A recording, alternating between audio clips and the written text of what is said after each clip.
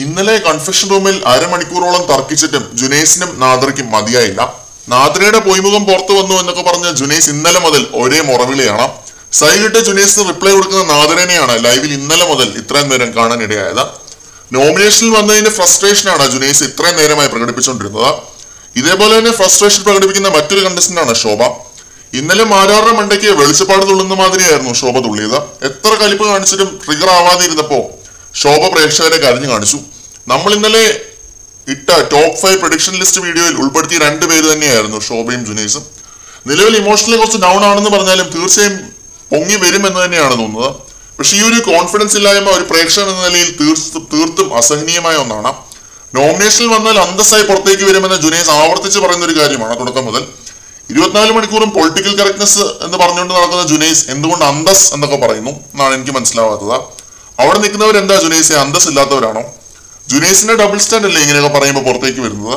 ഇതേപോലെ തന്നെയാണ് ശോഭയുടെയും കാര്യം. മാരാര് കാരണമാണ് ശോഭ അവിടെ നിൽക്കുന്നത് എന്ന കാര്യത്തിൽ ഒരു തർക്കവുമില്ല. ഇൻഡിവിജ്വൽ ആയിട്ട് ഗെയിം കളിച്ചു എന്നതൊക്കെ ശരി തന്നെയാണ്. എങ്കിലും മാരാരുടെ കളിയാക്കൽ അല്ലെങ്കിൽ സോ കോൾഡ് ബുളിങ് ഒക്കെ പുറത്തേക്ക് വന്നിരിക്കുന്നത് വളരെ പോസിറ്റീവായിട്ടാണ് ടോം ആൻഡ് ജെറി കോംബോ ആണെന്ന് ലാലേട്ടൻ വരെ പറഞ്ഞു. സംഭവം ഇത്രയും പോസിറ്റീവായിട്ട് പുറത്തേക്ക് വരാൻ കാരണം ശോഭ മാരാരി പറയുന്ന കാര്യങ്ങൾ അത്ര സീരിയസ് ആയി എടുത്തിരുന്നില്ല എന്നതാണ്. ഉരുളക്കുപ്പേരി പോലെ തന്നെ റിപ്ലൈ കൊടുക്കുമെങ്കിലും ചിരിച്ചു തള്ളിക്കളയുകയായിരുന്നു ഭൂരിഭാഗം സമയവും. പക്ഷെ ഇന്നലെ ശോഭ വല്ലാതെ പൊട്ടിത്തെറിക്കുന്ന ഒരു കാഴ്ചയാണ് നമ്മൾ കണ്ടത്. ശോഭയുടെയും ഡബിൾ സ്റ്റാൻഡ് ആണ് പുറത്തേക്ക് വന്നത്. നോമിനേഷനിൽ വന്നതിന്റെ പേരിൽ ഇങ്ങനെ ഫെലോ കണ്ടസ്റ്റൻസിനെ മെക്കിട്ട് കുതിര കയറാൻ പോകുമ്പോൾ ശോഭയും ജുനൈസും ഒക്കെ സ്വയം കുഴി തോണ്ടിക്കൊണ്ടിരിക്കുകയാണ് എന്നാണ് എനിക്ക് പേഴ്സണലി ഫീൽ ചെയ്യുന്നത്. ഇത് ഇന്നും ഇന്നലെയും ഒന്നും കാണാൻ തുടങ്ങിയതല്ല. ഹോട്ട്സ്റ്റാറിൽ എപ്പിസോഡുകളെല്ലാം ഉണ്ട്. അതിൽ നോമിനേഷൻ എപ്പിസോഡുകൾ എടുത്ത് നിങ്ങൾ കണ്ടു നോക്കൂ നോമിനേഷനിൽ വരുന്ന ദിവസം ജുനൈസും ശോഭയും പൊട്ടിത്തെറിച്ചിരിക്കും. ആറായാലും ഒക്കെ മണ്ടയ്ക്ക്. മുന്നോട്ട് പോകുമ്പോൾ രണ്ടുപേരും വളരെയധികം നെഗറ്റീവ് ആകാൻ ചാൻസ് ഉള്ള ഒരു കാര്യമാണ്.